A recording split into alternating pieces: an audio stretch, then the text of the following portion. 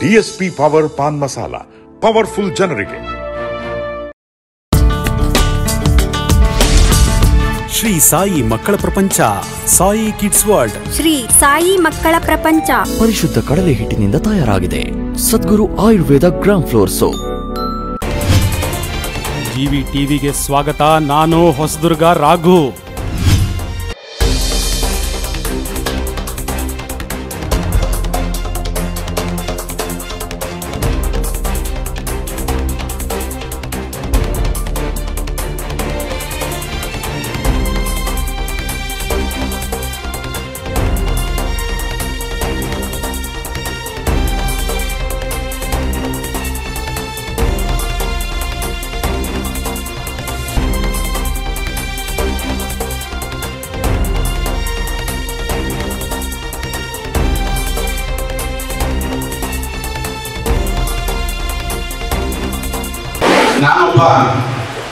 ಈ ದೇಶದ ಪ್ರಜೆಯಾಗಿ ಈ ಊರಿನ ಒಬ್ಬ ಜವಾಬ್ದಾರಿಯುತ ವ್ಯಕ್ತಿಯಾಗಿ ಭಾರತ ಸೇವಾ ಅಂದ್ರೆ ಸೇವೆಗಾಗಿ ನಾನು ಎಂಬುವ ಸಂಸ್ಥೆಯ ಅಧ್ಯಕ್ಷನಾಗಿ ಕೆಲವೊಂದು ವಿಚಾರಗಳನ್ನ ನಮ್ಮ ಮಾನ್ಯ ಶಾಸಕರಲ್ಲಿ ನಾನು ಮನವಿ ಮಾಡೋದಕ್ಕೆ ಇಷ್ಟಪಡ್ತಾ ಇದ್ದೀನಿ.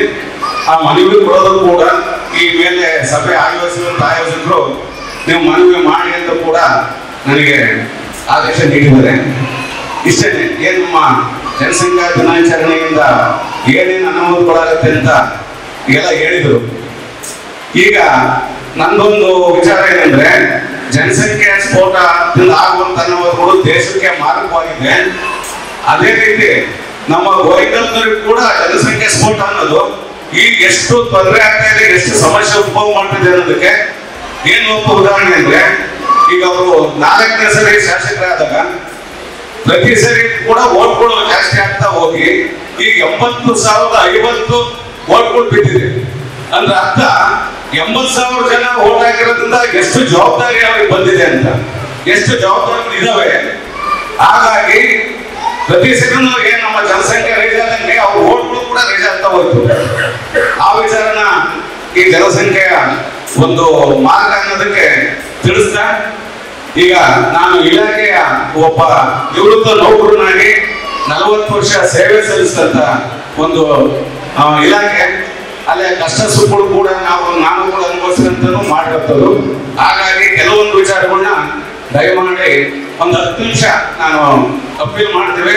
ದಯಮಾಡಿ ಶಾಸಕ ಸಾಹೇಬರು ಅದನ್ನ ಸ್ವಲ್ಪ ಗಮನ ಹರಿಸಿ ಅಂತ ಹೇಳ್ತಾ ಮೊದಲನೇದಾಗಿ, ನಮ್ಮ ತಾಲೂಕಿನ ಆರೋಗ್ಯ ವ್ಯವಸ್ಥೆ ಇನ್ನೂ ಸುಧಾರಿಸಬೇಕಾಗಿದೆ. ಯಾಕಂದ್ರೆ ಜನಸಂಖ್ಯೆ ಜಾಸ್ತಿ ಆಗ್ತಾ ಇದೆ, ಸಮಸ್ಯೆಗಳು ಜಾಸ್ತಿ ಆಗ್ತಿದೆ ಹೊಸ ಹೊಸ ಕಾಯಿಲೆ ಹುಡ್ಕೊಂತ ಇದಾವೆ. ಇವತ್ತು ನಾವು ಏನಾದ್ರು ಒಂದು ಕಾಯಿಲೆ ಸ್ವಲ್ಪ ದೊಡ್ಡ ಮಟ್ಟದ್ದು ಅಂದ್ರೆ ನಾವು ಶಿವಮೊಗ್ಗ ಹೋಗ್ಬೇಕು, ಮಣಿಪಾಲ್ ಹೋಗ್ಬೇಕು. ಹಾಗಾಗಿ ನಾನು ಅವರಲ್ಲಿ ಮನವಿ ಮಾಡೋದಿಷ್ಟೇನೆ, ಹೊಸದುರ್ಗ ಹಂಡ್ರೆಡ್ ಬೆಡ್ ಹಾಸ್ಪಿಟಲ್ ಇರುವಂತ ಹೊಸದುರ್ಗ ಆಸ್ಪತ್ರೆನ ಉಪ ವಿಭಾಗ ಆಸ್ಪತ್ರೆ ಆದ್ರೆ ನೂರೈವತ್ತರಿಂದ ಇನ್ನೂರು ಬೆಡ್ ಹಾಸ್ಪಿಟಲ್ ಆದ್ರೆ ಅದನ್ನ ಮೇಲ್ದರ್ಜೆಗೆ ಏರ್ಸೋದಕ್ಕೆ ಒಂದು ಪ್ರಯತ್ನ ಮಾಡಬೇಕು ಅಂತ ಅವರಲ್ಲಿ ಮನವಿ ಮಾಡ್ತಾ ಇದ್ದೀನಿ. ಅದೇ ರೀತಿ ನಮ್ಮ Shriramapura C S C C S C ಅಂದ್ರೆ ಆರೋಗ್ಯ ಕೇಂದ್ರ ಒಂದು ಸೆಂಟ್ರಲ್ ಜಾಗದಲ್ಲಿದೆ ಮಧ್ಯ ನಮ್ಮ ತಾಲೂಕಿನ ಮಧ್ಯಪ್ರದೇಶದಲ್ಲಿದೆ. ಜನಗಳು ಎಲ್ಲರಿಗೂ ಹೊಸಬರಿಗೆ ಬರ್ಬೇಕಾಗತ್ತೆ ಹಾಗಾಗಿ ನಾನು ಕೇಳ ನಾವು ನಿಮ್ಮೆಲ್ಲರ ಪರವಾಗಿ ಮತ್ತು ನಮ್ಮ ಆರೋಗ್ಯ ಇಲಾಖೆ ಪರವಾಗಿ ಶ್ರೀರಾಮಪುರ ಸಿ ಎಸ್ ಸಿನ ನೂರು ಬೆಡ್ಡಿನ ಆಶ್ರಯ ಸಾಮರ್ಥ್ಯದ ಆಸ್ಪತ್ರೆ ಮಾಡಬೇಕು ಅನ್ನುವ ಒಂದು ಮನವಿ. ಅದೇ ರೀತಿ ನಮ್ಮ ಮಾತೃಕೆಯಲ್ಲಿ ಅತ್ಯಂತ ಹಿಂದುಳಿದ ಪ್ರದೇಶ ಮತ್ತು ಬುಡಕಟ್ಟು ಜನಾಂಗ ವಾಸ ಮಾಡುವಂತ ಪ್ರದೇಶ.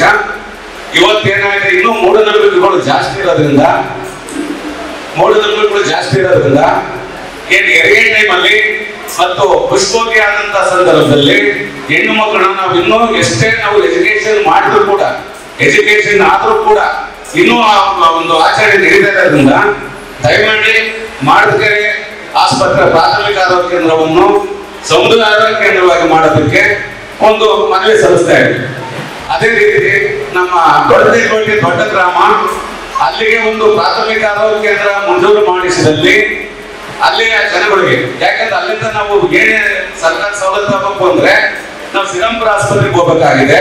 ಹಾಗಾಗಿ ನಾವು ದೊಡ್ಡದೇ ಕಮಿಟಿಯಲ್ಲಿ ಜಾಗ ಕೂಡ ಅವ್ರ ಪಿರಿಯಡ್ ಅಲ್ಲಿ ಜಾಗ ಇವತ್ತು ಇದೆ. ಅಲ್ಲಿ ಒಂದು ಆಯುರ್ವೇದಿಕ್ ಆಸ್ಪತ್ರೆ ಇದೆ. ಅದನ್ನು ಉನ್ನತೀಕರಿಸಿ ಒಂದು ಪ್ರಾಥಮಿಕ ಆರೋಗ್ಯ ಕೇಂದ್ರ ಮಾಡಿಕೊಡ್ಬೇಕು ಅಂತ ಒಂದು ಮನವಿ ಮಾಡ್ತಾ, ಅಲ್ಲಿ ಪ್ರಾಥಮಿಕ ಆರೋಗ್ಯ ಕೇಂದ್ರ ಆದಲ್ಲಿ ನಮ್ಮ ಅಲ್ಲಿರುವಂತ ಆಯುರ್ವೇದಿಕ್ ಆಸ್ಪತ್ರೆನ ನಮ್ಮ ಲೆಕ್ಕೇಳಿ ಗಡಿ ಗ್ರಾಮಕ್ಕೆ, ಯಾಕಂದ್ರೆ ಅದು ಅತ್ಯಂತ ಹಿಂದುಳಿದ ಪ್ರದೇಶ ಆದ್ರಿಂದ ಲೆಕ್ಕೇಳಿ ಗಡಿ ಗ್ರಾಮಕ್ಕೆ ಅದನ್ನ ಸ್ಥಳಾಂತರಿಸಬೇಕು ಅನ್ನುವ ಒಂದು ಇಷ್ಟು ಒಂದು ಐದು ಹೊಸ ವಿಚಾರಗಳನ್ನ ನಾವು ಸಾಹಿತ್ಯ ಮುಂದೆ ಮಂಡಿಸ್ತಾ ಇದ್ದೇವೆ. ಇದ್ರ ಜೊತೆಗೆ ಅತ್ಯಂತ ಮುಖ್ಯವಾಗಿ. ನಮ್ಮ ತಾಲೂಕು ಹಿಂದುಳಿದ್ರಲ್ಲಿ ಅತ್ಯಂತ ಹಿಂದುಳಿದ ತಾಲೂಕು. ಯಾರು ನಮ್ಮ ನಿಮ್ಮ ಪ್ರಕಾರ ಅಲ್ಲ ಡಿ ಎಂ ನಂಜುಂಡಪ್ಪನವರು ಮಾಡಿದಂತ ಒಂದು ಆದೇಶ ಅದು. ಅತ್ಯಂತ ಹಿಂದುಳಿದ ತಾಲೂಕು. ಯಾವುದಲ್ಲಿ ಹಿಂದುಳಿದಿದೆ? ಪ್ರಶ್ನೆ. ಯಾವುದಲ್ಲಿ ಹಿಂದುಳಿದೆ ನಮ್ಮ ಇಲಾಖೆಯ ಕಾರ್ಯಕ್ರಮಗಳಲ್ಲಿ ಹಿಂದುಳಿದಿದೆ. ಅವ್ರೆಲ್ಲದನ್ನು ತಾಂತಾರೆ ಒಂದು ನಾಲ್ಕಲ್ಲಿ.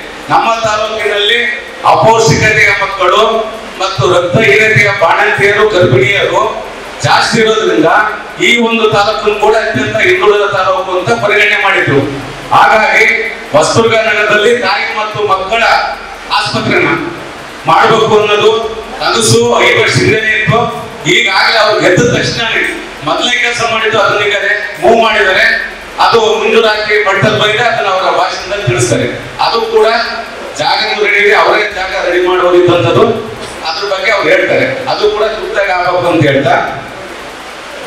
ಆಮೇಲೆ ಅಂಬುಲೆನ್ಸ್ ವ್ಯವಸ್ಥೆ ಬಗ್ಗೆ ಬಂದ್ರೆ ನಮ್ಮ ಮತ್ತೂರು ಆಸ್ಪತ್ರೆಗೆ ಅದು ಇಂಟೀರಿಯರ್ ಇರೋದ್ರಿಂದ ಸುತ್ತಮುತ್ತ ಹಳ್ಳಿಗಳು ಜಾಸ್ತಿ ಇರೋದ್ರಿಂದ ಅಲ್ಲಿಗೆ ಒಂದು ಅಂಬುಲೆನ್ಸ್ ಅನ್ನ ಮಂಜೂರು ಮಾಡಿಸ್ಬೇಕು ಅನ್ನುವ ಒಂದು ಮನವಿ.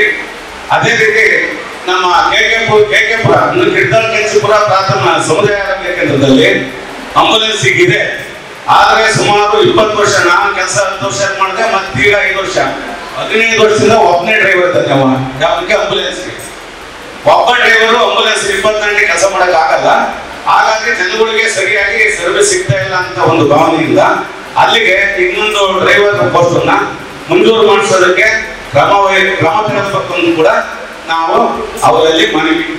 ಅದೇ ರೀತಿ ಮಾರ್ಕೆಟ್ ಆಸ್ಪತ್ರೆಗೆ ಈಗ ಏನಾದ್ರು ಸಿಎಸ್ಸಿ ಮಾಡಿಸೋದಕ್ಕೆ ಲೇಟ್ ಆಗುತ್ತೆ ಅಂದ್ರೆ ಇಂದಿನ ಇವ್ರ ಅವಧಿನಲ್ಲೇನೆ ತಾಲೂಕ್ ಪಂಚಾಯತಿಯ ಸದಸ್ಯರನ್ನೆಲ್ಲ ಅಷ್ಟು ಸದಸ್ಯರನ್ನು ಕೇಳ್ಕೊಂಡು ಎಲ್ಲರ ಹತ್ರನು ಎರಡನೇ ಲಕ್ಷ ಹಾಕ್ಸ್ಬಿಟ್ಟು ಹಾಕ್ಸ್ಬಿಟ್ಟು ಅಲ್ಲಿ ಒಂದು ಹೆರಿಗೆ ಆಸ್ಪತ್ರೆ ಸ್ವಂತ ತಾಲೂಕ್ ಪಂಚಾಯತ್ ನನ್ನಲ್ಲಿ ಮಾಡಿದಂಥದ್ದು.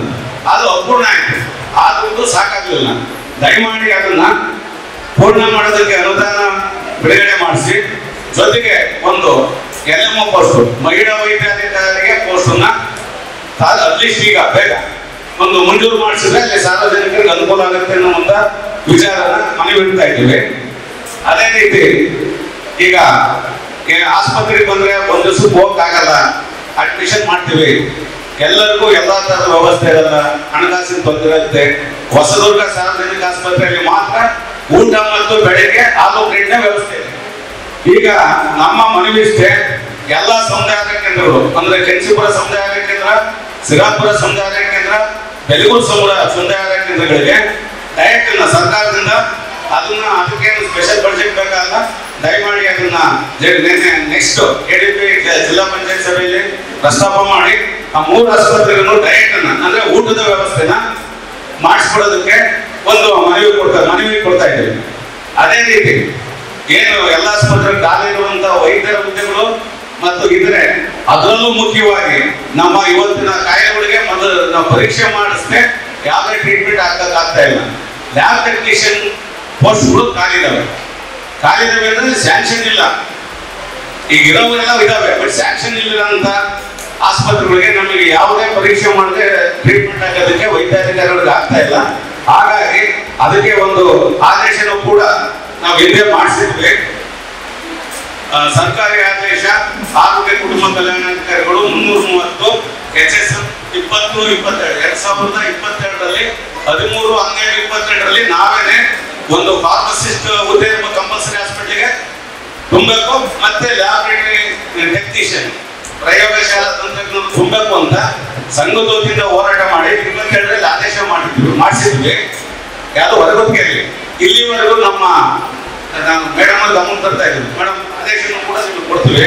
ಇಪ್ಪತ್ತೆರಡರಲ್ಲಿ ಮಾಡಿದಂತ ಆದೇಶ, ಇಲ್ಲಿವರೆಗೂ ನೀವು ಲ್ಯಾಬ್ ಟೆಕ್ನಿಷಿಯನ್ ಇಪ್ಪತ್ನಾಲ್ಕು ಜನ ನಮ್ಮ ಜಿಲ್ಲೆಗೆ ಮಾಡಿದ್ದಾರೆ. ಅದನ್ನು ಕೊಡಲಿಲ್ಲ ಇಪ್ಪತ್ತೇಳು ಜನ. ಇಪ್ಪತ್ತೊಂದು ಜನ ಫಾರ್ಮಸಿಸ್ಟ್ ಆದೇಶ ಮಾಡಿಸಿದ್ವಿ ನಾವು.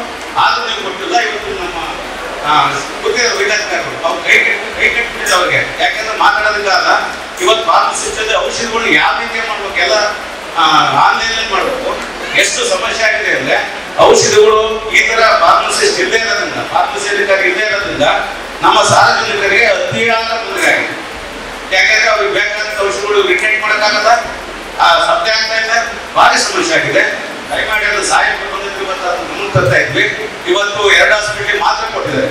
ನಾವು ನಮ್ಮ ತಾಲೂಕಿಗೆ ನಾಲ್ಕನ್ನ ಇಂದು ಇಪ್ಪತ್ತೆರಡರಲ್ಲಿ ಮರಬೇಕಾದಂತ ಸ್ಯಾಂಕ್ಷನ್ ಮಾಡಿಸಿದ್ವಿ. ಎರಡು ಕೊಟ್ಟಿದ್ದಾರೆ? ಇನ್ನು ಎರಡು ಕೊಡಬೇಕು? ಇವತ್ತು ಇದ್ದಾವೆ ಕೊಟ್ಟಿದ್ದಾರೆ ದಯಮಾಡಿ ಹೇಳ್ಬಿಟ್ಟು ಅದು ಕೊಡ್ಸೋಕೆ ವ್ಯವಸ್ಥೆ ಮಾಡಿ ಅಂತ ಹೇಳ್ತಾ ಅತ್ಯಂತ ಭಾರಿ ಜವಾಬ್ದಾರಿಯುತವಾದಂತ ಒಂದು ನಮ್ಮ ಲ್ಯಾಬ್ ಟೆಕ್ನಿಷಿಯನ್. ಅವಕ್ಕೂ ಕೂಡ ಮಾಡಬೇಕು ಅಂತ ಈ ಸಂದರ್ಭದಲ್ಲಿ ಅವ್ರು ಗಮನ ತರ್ತಾ ಇದ್ವಿ. ಅದೇ ರೀತಿ ಹಿಂದೆ ಬಿ ಎಚ್ ಇತ್ತು. ಆ ವಸ್ತು ಬಿ ಎಸ್ ಸಿ ಸರ್ಕಾರ ಕನ್ವರ್ಟ್ ಮಾಡ್ತು. ಯಾವ್ಯಾವುದು? ಬಾಗೂರು, ಸಾಣಿಹಳ್ಳಿ ಮಲಪನಹಳ್ಳಿ ದೇವಿಗೆರೆ ಜಾನ್ಕಲ್ಲು ಮಾಡಕೆರೆ ಮದ್ದೋಡು ಪಲಾರ್ ಸಮುದ್ರ ಜಿ ಒಂಬತ್ತು hospital B H B S C ಆಗಿ ಕನ್ವರ್ಟ್ ಮಾಡ್ತು ಬಟ್ ಅಲ್ಲಿ ಆಡಳಿತಾತ್ಮಕವಾಗಿ ಅದು ಆದೇಶ ಆಗಿಲ್ಲ ಆ ವಾಹನ ಲ್ಯಾಬ್ ಬರ್ತಾರೆ ಆ ಗುಮಾಸ್ತರು ಬರ್ತಾರೆ ಇವತ್ತು ಸಂಬಳ ಮಾಡ್ಬೇಕು ಅಂದ್ರೆ ನಮ್ಮ ಡಾಕ್ಟರ್ ಮಾಡ್ಬೇಕಾಗುತ್ತೆ ಯಾಕಂದ್ರೆ ಗುಮಾಸ್ತರು ಸಂಖ್ಯೆ ಇಲ್ಲ ಅಲ್ಲಿ. ಯಾರು ಡೆಪ್ರೇಷನ್ ಹಾಕಿದ್ರೆ ಅವರು ಬಂದು ಸರಿಯಾಗಿ ಕೆಲಸ ಮಾಡಕ್ ಆಗ್ತಾ ಇಲ್ಲ.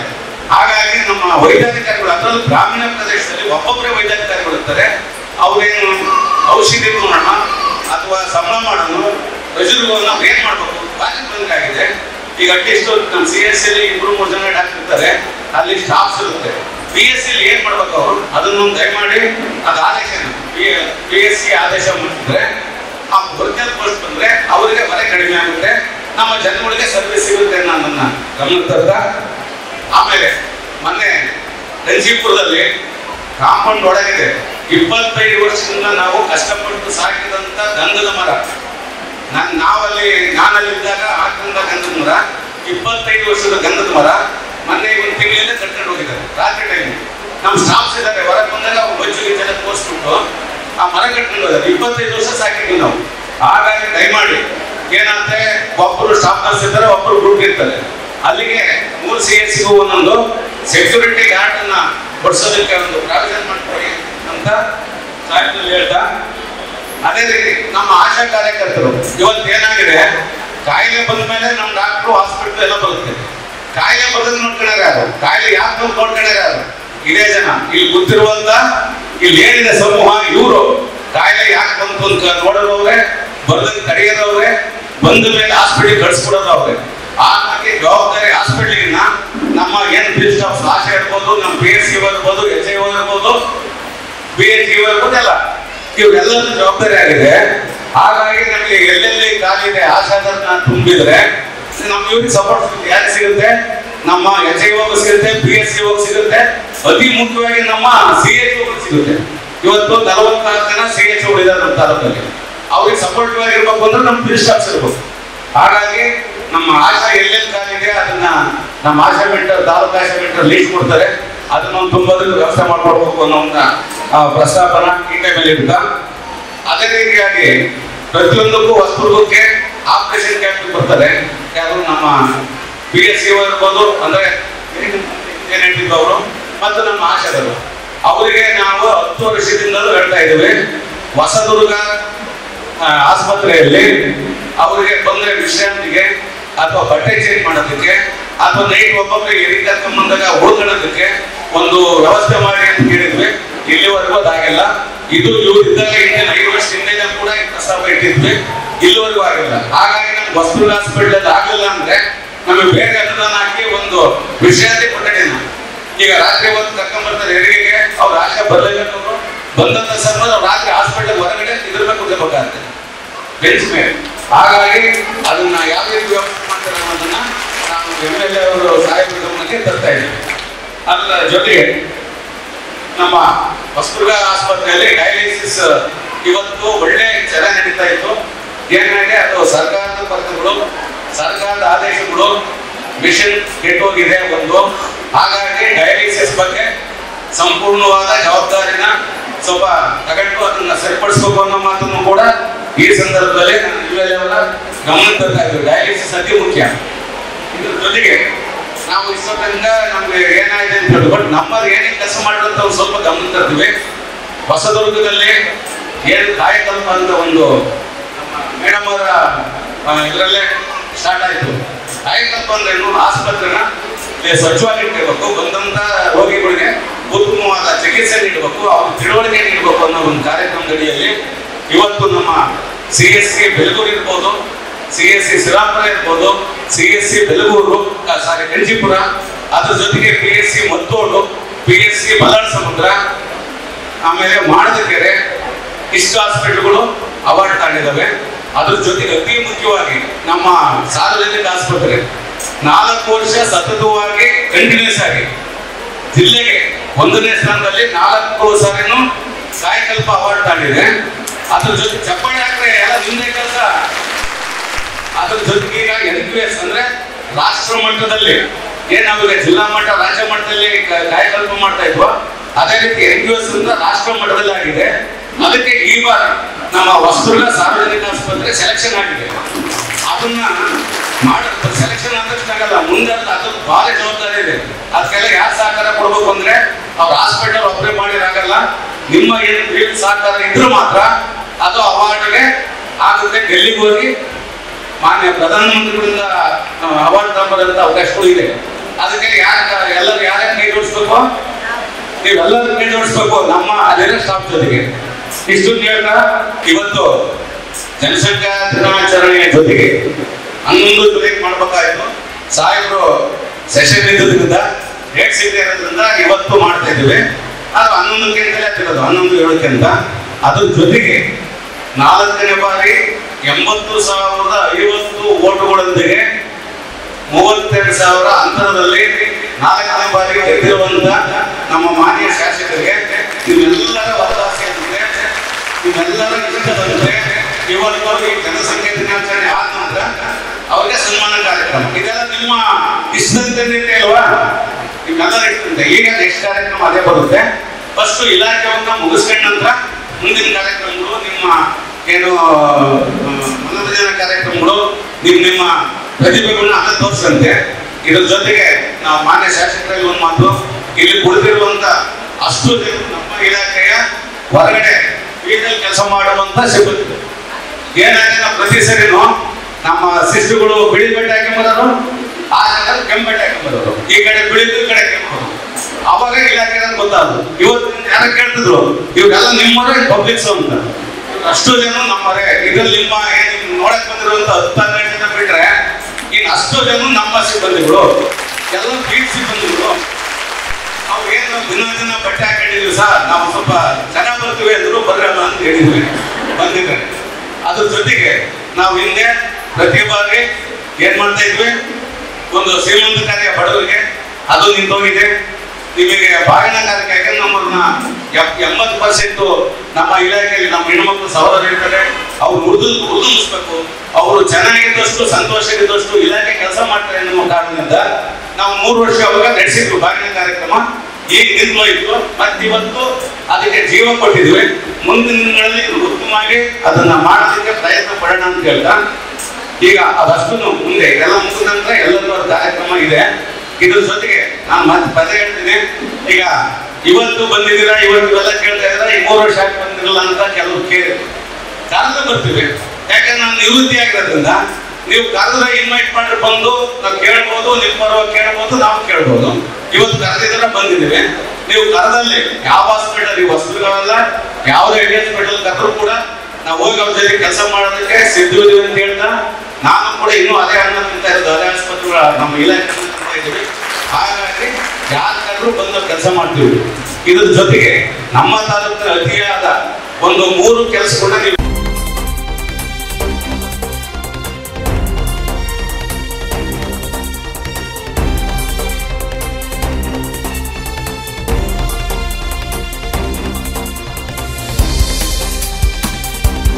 ಜಿವಿ ಟಿವಿ ನಿಮ್ಮ ಧ್ವನಿ, ಪ್ರಾದೇಶಿಕ ಸುದ್ದಿ ಮತ್ತು ಮನರಂಜನಾ ವಾಹಿನಿ. ಇದು ಕೋಟೆನಾಡಿನ ಕನ್ನಡಿ.